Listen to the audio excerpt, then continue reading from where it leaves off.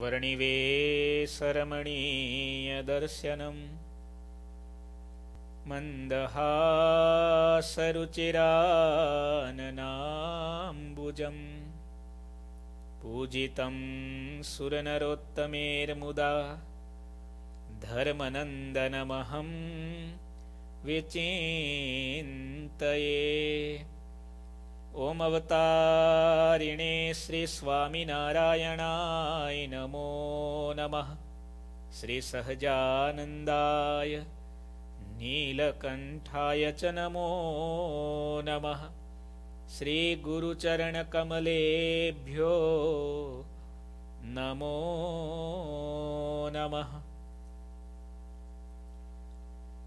બોલો શ્રી સ્વામિનારાયણ ભગવાનની શ્રી હરિકૃષ્ણ મહારાજની શ્રી ઘનશ્યામ મહારાજની કથા સાંભળનારા બધા જ ભક્તોને ખૂબ ભાવથી જય શ્રી સ્વામિનારાયણ શ્રી હરિચરિત્રામૃત સાગર પૂર ચોથું તરંગ પાંચમું જીવેન્દ્ર દરબાર એટલે કે જીવા ખાચર. એના દરબારગઢમાં ભગવાન શ્રીહરિ બિરાજમાન છે. દરબારને વાત કરે છે દરબાર.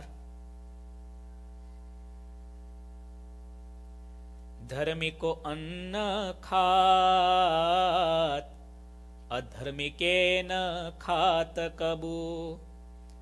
હમારી એસે બાત અધર્મટાલન હમ પ્રગટે અધર્મટાલન હમ પ્રગટે કોન માત કોન તાત કોન બંધુ પુત્ર હે કોન કોઈ કુન હમ ચહાત ધર્મ કુહમ કુટુંબ કેવું ધર્મ કુહમ કુટુંબ કેવું હે દરબાર સાંભળો. ધર્મ પાળનારનું અન્ન અમે જમીએ છીએ. અધર્મીનું અન્ન અમે નથી જમતા. અમારી આવી સ્પષ્ટ વાત છે. કારણ કે અમે તો અધર્મનો નાશ કરવા આ પૃથ્વી ઉપર પ્રગટ થયા છીએ.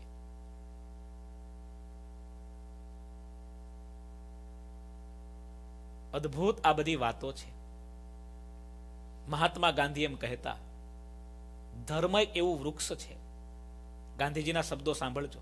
દાદા, ધર્મ એક એવું વૃક્ષ છે, જેના કરોડો પત્તાઓ છે. જેના કરોડો પાંદ છે, ગણી ન શકાય એટલા બધા. અને અને અજાયબી એ છે, એક પણ પાંદ સરખા નથી. મુસીબત આટલી જ છે. ધર્મ ધર્મ ધર્મ બોલવું સહેલું છે. પણ મારો ધર્મ શું છે એ ઓળખવું ને શ્રુતિર વિભિન્ના સ્મૃતિયોપી ભિન્ના નેકો મુનિર યસ્ય વચઃ પ્રમાણમ ધર્મસ્ય તત્વમ નિહિતમ ગુહાયામ મહાજનો એન ગતઃ સપંથઃ મહાભારત એમ કહે છે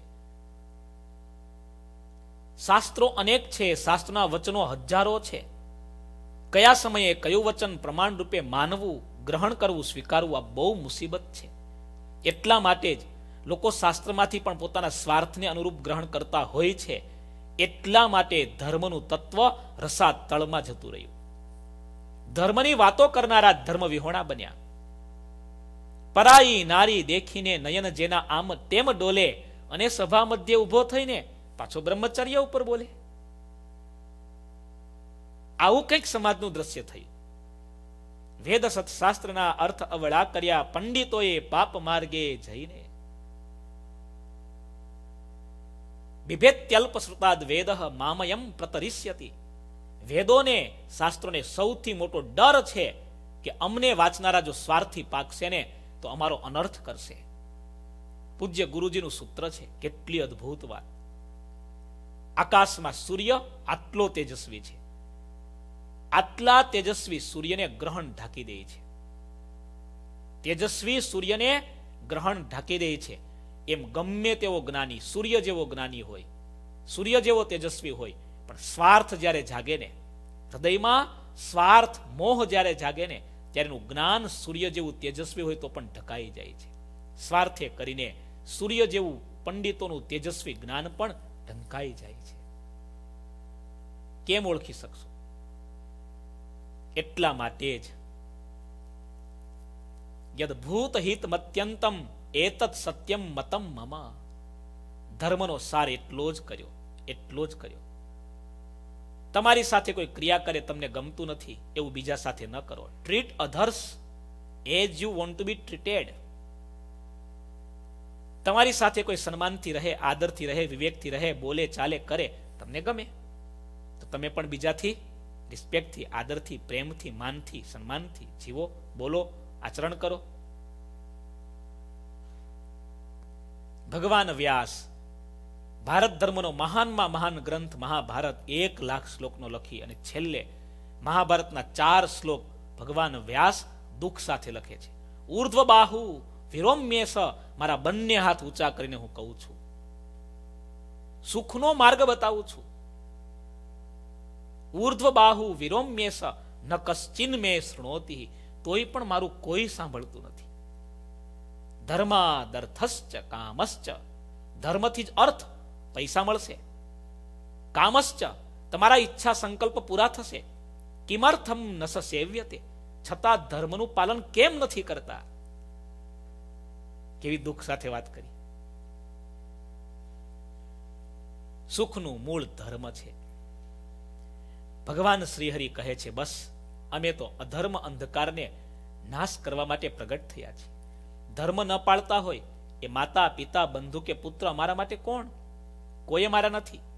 ધર્મરહિત હોય, તે તો સગાઓને પણ મેં ચાહતા નથી. અમે અમે ધર્મને જ અમારું કુટુંબ કર્યું છે. ધર્મ હમારે માત હે તાતા. ધર્મ હમારે પુત્ર હિ ભ્રાતા. धर्म रखे तिन कुहम चाहता तिनके त्यागन करे शेर जाता धर्म हमारे માત હે તાતા વાસ્તવમાં ધર્મ જ અમારા પિતા છે ખરેખર આમાં સાચી વાત છે લોકની દ્રષ્ટિએ ભગવાનના પિતાનું નામ ધર્મ હતું અને શાસ્ત્રની દ્રષ્ટિએ પણ ધર્મ અમારા પિતા છે ધર્મ જ અમારા માટે માં છે. ધર્મ જ અમારા પુત્ર કે ભાઈ છે. ધર્મને રાખે છે, પાળે છે, તેને જ અમે ચાહીએ છીએ. ધર્મ હમારે માત હે તાતા. ધર્મ હમારે પુત્ર હે ભ્રાતા. ધર્મ રખે તિનકુ હમ ચહાતા. તિનકે ત્યાગન કરે શિર જાતા. અમારું માથું જાય છતાં ધર્મવાળાનો અમે ત્યાગ નથી કરતા. પાંચ પાંડવ અને સો કૌરવ કૃષ્ણ માટે સરખા સગા હતા, હા દાદા? સરખા સગા હતા. સરખા. પણ તેમ છતાં પાંડવની રક્ષા કરી કૌરવનો વિનાશ કર્યો શા માટે? અર્જુન નિરાશ થઈ ગયો. પ્રભુ, યુદ્ધ નથી કરવું. આ સગા સંબંધી સ્વજનો મારવા, એના કરતા ગુરુન અહત્વા હિ મહાનુભાવાન. ભોગતુમ ભેક્ષ્યમ અપીહ લોકે. હું ભીખ માગીને જીવીશ. આ લોહીથી ખરડાયેલી રાજ્યની ધરતી મારે નથી જોતી. નપુંસક બન્યો, કાયર બન્યો, શસ્ત્રો મૂકી દીધા.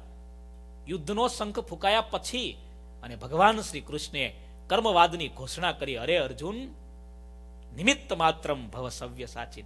આ બધા મારવાની વાત તો મારે છે. મેં નક્કી કર્યું છે. આ ધર્મીનો વિનાશ કરવો જ છે મારે. તારે નિમિત્ત બનવું હોય તો તૈયાર થા. જોયું? સો માંથી એક બચ્યો નહીં ને પાંડવમાં પાંચમાંથી એક મર્યો નહીં. કારણ શું? ધર્મ હતો. અમારું માથું જાય, પણ અમારા ભક્તનું અમે અહિત થવા દેતા નથી. જોયું? આજે પણ આવા દાખલા બને છે, દાદા, હા? આજે પણ. કાલે વાત સાંભળી હતી ને. ઝેર ખાય અને જીવવાની આશા રાખે. કેમ બનશે, દાદા? કેમ બનશે? ખાય છે ઝેર. અને વધારે જીવવાની આશા છે એ વધારે જીવશે કે મરશે? જવું છે ગોવા, ફરવા ગોવા જવું છે. અને બેઠા છે ગોધરાની ટ્રેનમાં ક્યાં પહોંચશે? ક્યાં પહોંચશે? કંઈક આપણી દશા આવી છે, કંઈક આવી દશા. સુખી થવું છે, પણ રસ્તો લીધો છે દુઃખનો. પથ્થર સુલગ રહે થે હમજે તરફ ચલે થે.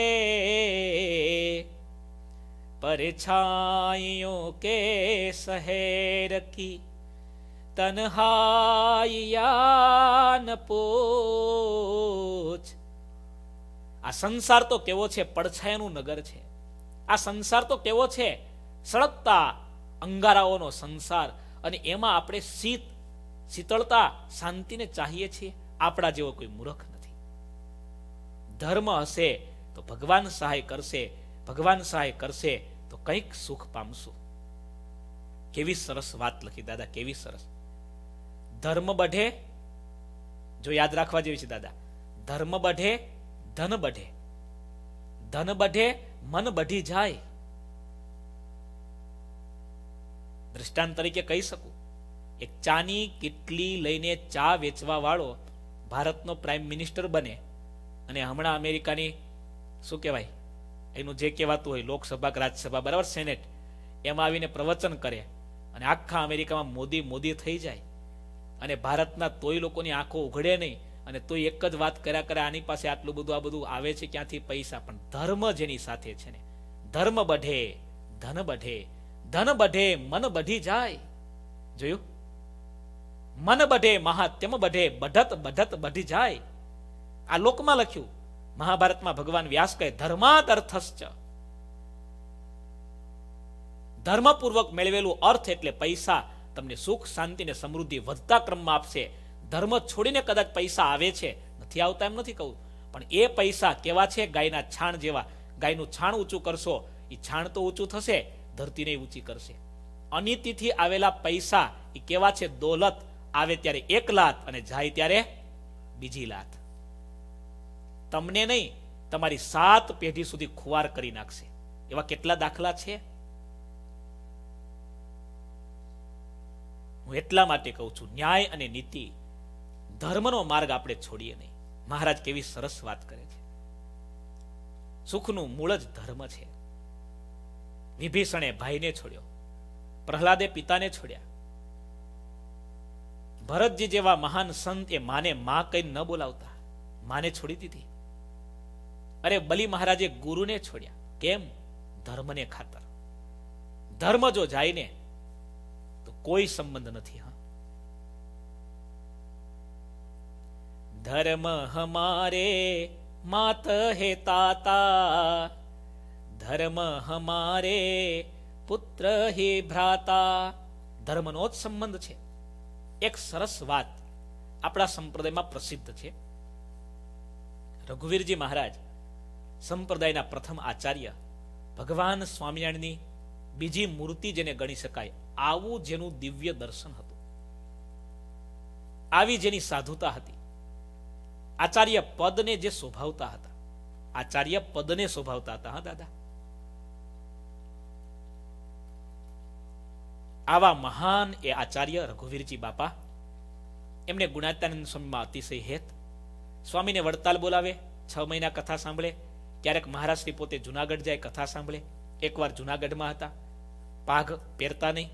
એક સામાન્ય સત્સંગી તરીકે કથા સાંભળે આવા વિવેકી પાછા.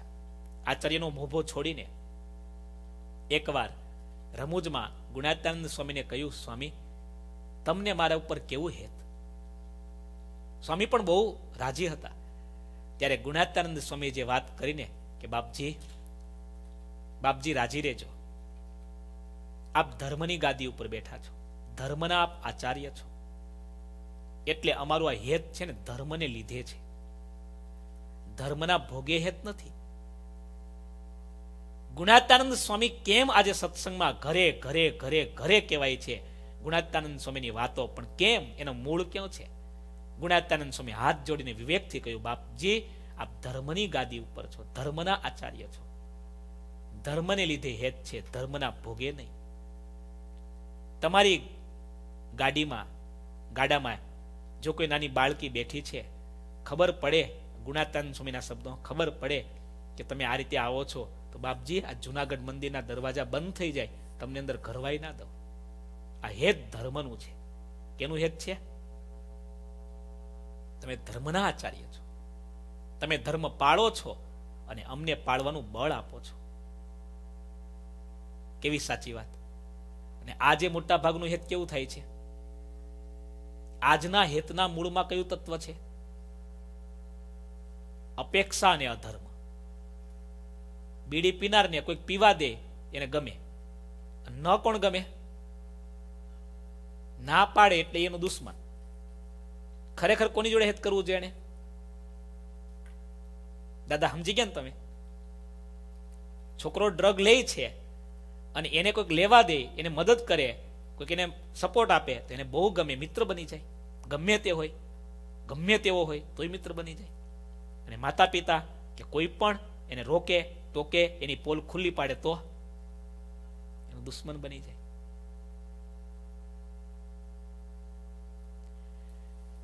એકવાર વિક્રમ સંવત અઢારસો ને અઠ્યોતેરની સાલ હતી. મહારાજે વડતાલ મંદિરનું ખાતમુહૂર્ત કર્યું. મંદિરનું કામ જોરશોર શરૂ પણ એકવાર થયું. મહારાજ પછી આવ્યા છે. બ્રહ્માનંદ સ્વામી વગેરે સંતોએ મહારાજને મંદિરનું થોડું કામ બતાવ્યું, થોડું જે પાયાનું કામ પૂરું થયેલું. મહારાજ રાજી થયા. સ્વામીને પૂછ્યું, સ્વામી, પૈસાનું કેમ છે? સ્વામી કહ્યું, મહારાજ, આ તો તમારા ભરોસે ચાલે છે, બાકી અમારી પાસે કોઈ સગવડ અને ધર્મનું કામ લગભગ એવું છે. આપણા બધા કાર્યના કરતા ભગવાન છે. જગતના બિઝનેસની જેમ મંદિરો ન ચાલી શકે. ન જ ચાલી શકે. અને કોઈ ચલાવવા જાય તો પણ એમાં આધ્યાત્મિકતા નથી રહેતી પછી. એ બિઝનેસ થઈ જાય. એ રિલાયન્સની ફેક્ટરી જેમ જ ચાલતો હોય. ધર્મનું તત્વ બહુ સમજવા જેવું છે. શ્રીજી મહારાજે પરિસ્થિતિ જાણી લીધી. પૈસાનો અભાવ છે. સ્વામી તો મક્કમ હતા. એમનું મન પણ પ્રફુલ્લિત હતું. પણ મહારાજે સભામાં વાત કરી, ટકોર કરી કે, ભક્તો, જેની જે શક્તિ હોય એ સેવા કરજો. જોબન પગી આગળ બેઠેલા. એને હસતા હસતા મહારાજને કહ્યું, મહારાજ, તમે અમારો ધંધો બંધ કરાવી દીધો. જો ચાલુ રખાયો હોત ને, તો ક્યારનું મંદિર પૂરું થઈ ગયું હોત? કયો ધંધો? હરેશભાઈ, કયો ધંધો? તમે જ અમારો ધંધો બંધ કરાવ્યો અને હવે સેવા માગો છો. જો ચાલુ રાખવા દીધો હોત ને, તો અત્યારે આ મંદિર એક ગાયકવાડની તિજોરી લૂંટવાની જરૂર હતી. બાકી બીજા કોઈની જરૂર નહોતી. અને શ્રીજી મહારાજ ઉદાસ થઈ ગયા. ઉદાસ થઈને મહારાજ શું બોલ્યા? જોબન, અમારે મન, અમારી આજ્ઞા પાળે ને એનાથી મોટી બીજી કોઈ સેવા જ નથી. બોલો. ધર્મ લોપે છે, એ કેવા છે? ધર્મ તો મારા પિતા છે, એ મારા પિતાના વૈરી છે, એ અમારા તો મોટા દુશ્મન છે. એવા જીવ અમને દીઠા પણ ગમતા નથી. ખબરદાર થઈને આવી વાત ક્યારે કરતા નહીં? જોયું? રમૂજમાં પણ જેણે ધર્મના ભંગની વાત કરી, તો પણ શ્રીજી મહારાજ કેટલા ઉદાસ થઈ ગયા. તો જેને સાક્ષાત ધર્મના ભંગની વાતો કરી નાખી હોય, તો શું થાય? આવા ધર્મના શુદ્ધ સ્થાપક, પોષક અને પ્રચારક ભગવાન સ્વામિનારાયણ હતા. એટલે કવિ નાનાલાલ કહે, ઉજળો પંથ. ભગવાન સ્વામિનારાયણનો સત્સંગ કેવો છે? ઉજળો પંથ. એટલા માટે આપણે ભાગ્યશાળી છે આજે આપણે આ લોયાધામમાં દાખલા એટલે આપું છું. અમારા બે દાદાઓ કેટલી સેવા કરે. આ લોયાધામ પરિવારના, પણ તેમ છતાં ગુરુજીએ ખબરદાર થઈને ટકોર કરી છે, આપણે જાણીએ છીએ. કે આપણું મંદિર ભલે નાનું છે, સમુદાય આપણી પાસે મોટો છે, પણ ખબરદાર થઈને ઘરે કે મંદિરમાં કે બારે કે જોબમાં મહારાજની એક એક આજ્ઞા સાવધાન થઈને પાડીએ. જો ગાફલાઈ રાખશું સો વાતની એક વાત છે, નવ કરવો આજ્ઞા લોપ. રાજે કરવાનું રહ્યું પરું, નવ કરાવે કોપ. નાક કપાવે નથ પહેરવે, એ તો નારે નઠારેનું કામ. એથે મર રહીએ અળગા એવા ભૂષણ પહેરવા હરામ. માટે મહારાજ કહે છે, જેમાં જેટલો વધારે ધર્મ, તેમાં અમને એટલો વધારે પ્રેમ થાય છે. એક એક લાઈન સાંભળવા જેવી છે, દાદા. એક એક લાઈન ઉપર કલાક નહીં, કલાકો સુધી બોલી શકાય. જેમાં જેટલો વધારે ધર્મ હોય, તેમાં અમને તેટલો વધારે પ્રેમ થાય છે. તમે બધા સમજો જ છો આ વાત. જે ધર્મને રાખે છે, તે જ મોટો રાજા છે. અને જે ધર્મમાં અધૂરો છે, એ તો નાનો રાજા છે. તુચ્છ છે. સંસારનો માર્ગ જુદો છે અને મોક્ષનો માર્ગ જુદો છે. અમે મોક્ષને માર્ગે નીતિ રાખીને ચાલ્યા છીએ. મોક્ષને માર્ગે જે નીતિ રાખીને ચાલે છે, તેની સાથે અમે પ્રીતિ કરીએ છીએ. મોક્ષના માર્ગે નીતિ રાખે છે, એની સાથે અમે પ્રીતિ કરીએ છીએ. જો કાલે મેં વાત કરી હતી ને આ વિદેશની પ્રજાઓ હવે નીતિમાં કેટલી જોડાતી જાય છે. અને આપણા દેશી માણસો સંસ્કારી સત્સંગી કુટુંબમાં જન્મેલા સજ્જન જેને કહેવાય, એવા માણસો દુર્જનોને ન શોભે એવા કર્મ કરતા થઈ ગયા છે. થોરો વિદેશી ચિંતક કેવું સરસ લખે છે. દરેક જનના સુખનું કારણ ધર્મ જ છે. ધર્મ એ પ્રજામાં રહેલો ગુપ્ત સદગુણ છે. કોઈકની ગાડી ડેમેજ થઈ, ભૂલથી થઈ અને આપણને દુઃખ થાય. આ ધર્મ છે. ભૂલથી થઈ, કોઈ જાણ્યું નહીં, કોઈ તપાસ આવી નહીં, આપણે રાજી થયા તો મહારાજે કૃપા કરી, કૃપા નહીં, આનો બદલો ચૂકવવો પડશે. જોયું દાદા?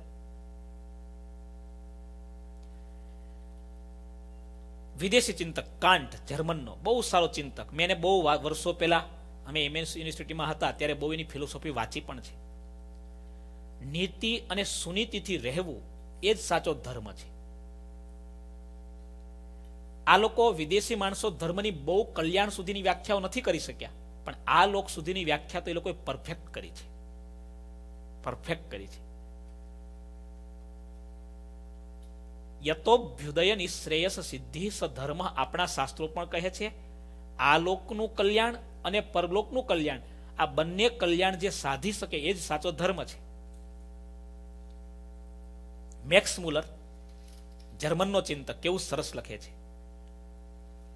જેણે આ સૃષ્ટિ રચી છે, જે સર્વનો પ્રેરક છે, જેણે પાણી માત્રને સાર અને અસાર સમજ્યાની બુદ્ધિ આપી છે, એ પરમ તત્વને પીછાણવું એ જ ધર્મ છે. કેવું સરસ લખ્યું હે દાદા? કેવું સરસ જોયું? પરમ તત્વને સવૈ પુંસામ પરો ધર્મ યતો ભક્તિ રધોક્ષજે. આપણા શાસ્ત્રોમાં જે વાત છે, એ જ વાત છે, બીજા શબ્દો છે. પણ હું કહેવા એ માગું છું, આપણા શાસ્ત્રોની વાતો આપણે સમજી ન શક્યા. આ લોકોને સંભળાવનાર કોઈ નહોતું, પણ અનુભવના આધારે એ લોકોએ વાતને પ્રગટ કરી, અપનાવી, જીવનમાં સ્વીકારી. તો આજે તમે વિદેશની ભૂમિમાં જુઓ. શાંતિ છે, સમૃદ્ધિ છે, સુખ છે, વૈભવ છે. ક્યાંક દુઃખ છે, એનું કારણ શું છે? ધર્મને એવે મૂકી દીધો. બાકી ધર્મવાળો ક્યારે દુઃખી હોઈ જ ન શકે. દુઃખ છે, એનો મતલબ છે કે કંઈ આ જન્મે કે ગયા જન્મે ઠાકોરજીની ઈચ્છા એવી છે.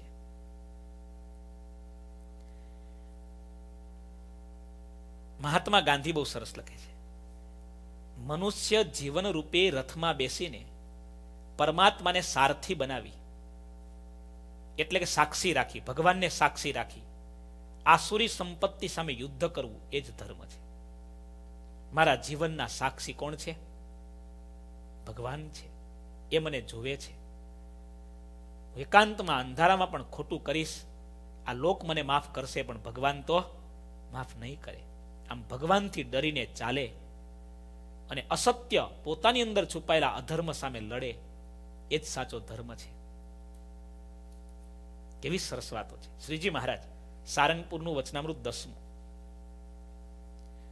ધર્મવાળા જે માણસ હોય, તે ચોરી તથા પરસ્ત્રીનો સંગ તથા ચાડી ચુગલી એ આદિક સર્વ પાપનો ત્યાગ કરીને પરમેશ્વરથી ડરીને ધર્મ મર્યાદામાં ચાલે છે. શું વાત થઈ? વિદેશના માણસો વાત કરે? આપણા વાંગમય ગ્રંથો, સંસ્કૃતના જૂના ગ્રંથોમાં વાત જુઓ કે મહારાજની વચનામૃતની વાત જુઓ, એક છે. ભગવાનને સાક્ષી માની, ભગવાનથી ડરીને ચાલે, નીતિમાં રહે, બસ આ જ અંત્યનું વચનામૃત આઠમું છે. કદાચ જેને વાંચ્યું હશે એને ખબર હશે. આ વચનામૃતનું ટાઇટલ છે સદા સુખી રહેવાનું. શું ટાઇટલ છે દાદા? આપણે સુખી ટેમ્પરરી તો છીએ જ. પણ સદા સુખી રહેવાનું કેટલી અદ્ભુત મહારાજે ચાવી બતાવી છે. આખું વાંચજો જેને રસ હોય. આ બે લાઈન વાંચું છું. સદા સુખી રહેવાનું વચનામૃત.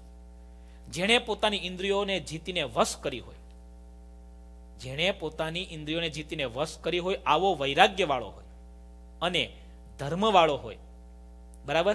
તે જ સદા સુખી રહે છે. અધર્મવાળો સુખી થાય પણ કેટલી વાર દાદા? થોડી વાર. થોડી વાર. દારૂનો નશો કેટલી વાર હોય? થોડી વાર. દીવો ઠરવાનો થાય ને ત્યારે સળગે. જાજુ. આ દુનિયાનો નશો આવો છે.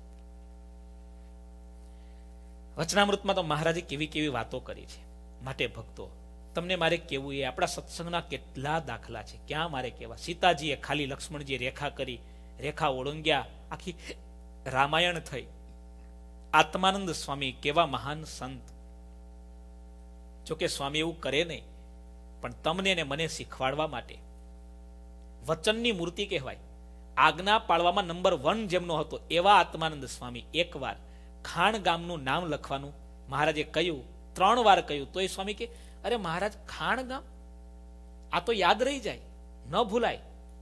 સ્વામી, તમારે દૂર જવાનું. લખી લો ને, ખાણ કેટલી વાર લાગે. અરે મહારાજ, દૂર કે નજીક? ખાણ એટલે?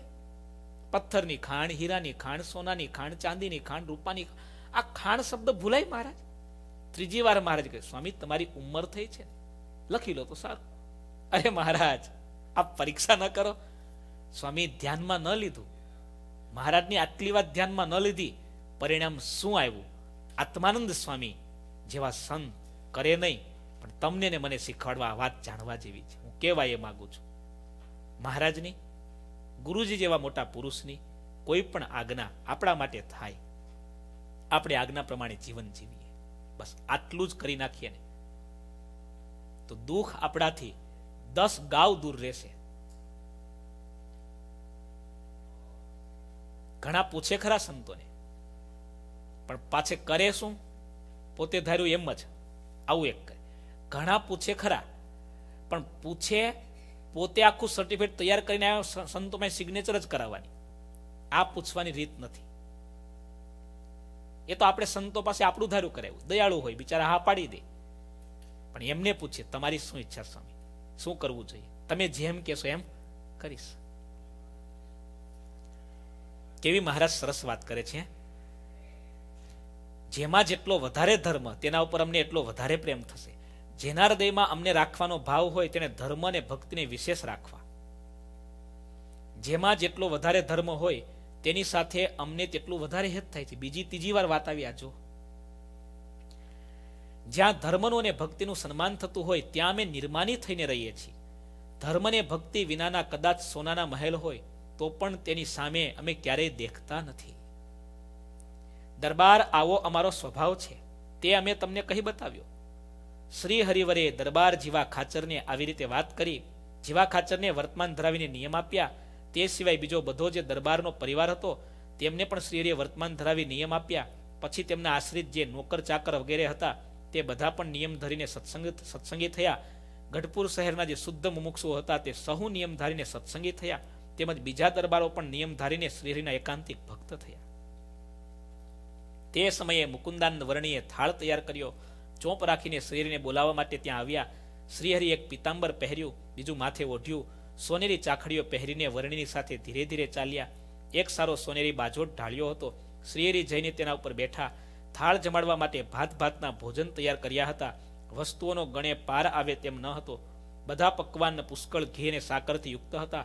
ઘણું ઘી નાખીને શાકો પણ કર્યા હતા. દૂધપાક, મોતીચૂર, બરફી, પેંડા, જલેબી, કંસાર, પૂરી વગેરે કર્યા હતા. પૂરણ પોળીને તો તાજા ઘીમાં જબોળી દીધી હતી. મેસૂબ રસદાર, માલપુડા, ગુંદરપાક, રૂપાળા, ઘેબર, સાટા, સેવદળ, દળના લાડુ, સૂતરફેણી, ગુંદવડા, ભજીયા, શક્કરપારા, વડા, ગુલકંદ ગુલાબપાક ટોપરાપાક દ્રાક્ષ, બાસુંદી, શ્રીખંડ હરીસો બિરંજ અને સુંદર ગાંઠિયા વગેરે અપાર ભોજન બનાવ્યા હતા. મોઢામાં પાણી કોઈ લાવશો? નહીં.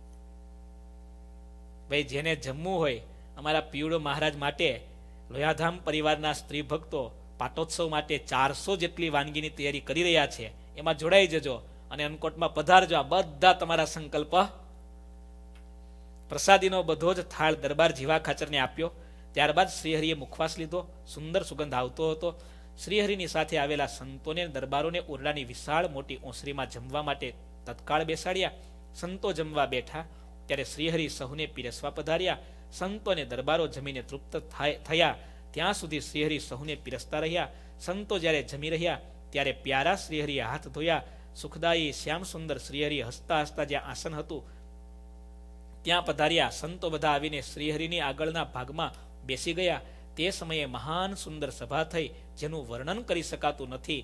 તે સમયે દરબાર પૂજાનું બધો સામાન લઈને આવ્યા, કેસર મિશ્રિત ચંદન, ફૂલહાર ઘણા જ લાવ્યા, બધા જરિયાની વસ્ત્ર વગેરે શરીરને પહેરાવ્યા, અનંત બ્રહ્માંડોના અધિપતિ પુરુષોત્તમ નારાયણ પોતાને ઘેર પધાર્યા, એટલે દરબારે પોતાનું બધું કર્તવ્ય સુધારી લીધું. વિવિધ પ્રકારના સર્વોત્તમ સોનાના બધા ઘરેણા અને મોતીના હાર છાતી ઉપર પહેરાવ્યા. તેની શોભા વર્ણવી શકાતી નથી.